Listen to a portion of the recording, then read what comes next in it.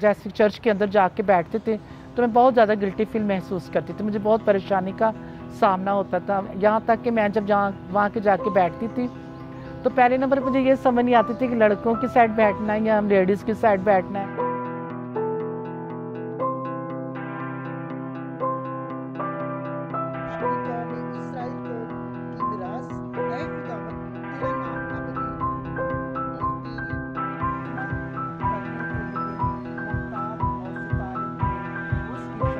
Bible پڑھنے کو دل کرتا تھا کہ میں جا کے آگے جا کے کلام کروں بائبل پڑھوں گیت گائیں جیسے دوسرے گاتے ہیں ہمارا بھی دل کرتا ہے ہم لوگ بھی کہتے ہیں کہ ہم لوگ بھی آگے جا کے دعا کریں بائبل پڑھیں لیکن ہمیں موقع نہیں ملتا تھا ہم بہت مایوس ہوتے تھے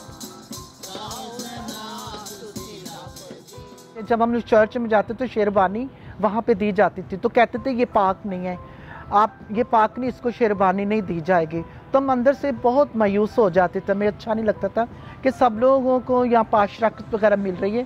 تو ہمیں کیوں نہیں دے رہے؟ ہمیں اور نہ ہمیں بائبل وغیرہ چھونے کی اجازت تھی۔ کہتے تھے کہ یہ لوگ جو نا وہ اچھا ہی نہیں ہے۔ یہ یہ خواجہ سرائیں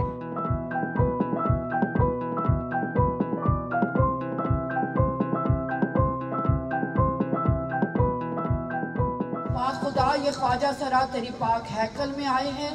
تیری پاک حضوری میں آئے ہیں اور تیرے منہ کی باتوں کو سیکھنا چاہتے ہیں۔ اپنے روح القدس کی رہنمائی فرما دے۔ اپنے پاک روح کو ہم میں سے ہر ایک پر اڈیل دے۔ اس ساری عبادت کو تیرے پاک روح کے اختیار میں دیتی ہوں۔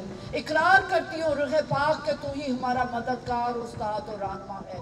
روح پاک تو آ ہمارے میں چاہتی ہوں کہ ٹرانسجینڈر پاسٹرز ہوں، ٹرانسجینڈر یوتھ لیڈرز ہوں، ٹرانسجینڈر بائبل ٹیچرز ہوں، ایک مضبوط چرچ کی فاؤنڈیشن شروع ہو جائے۔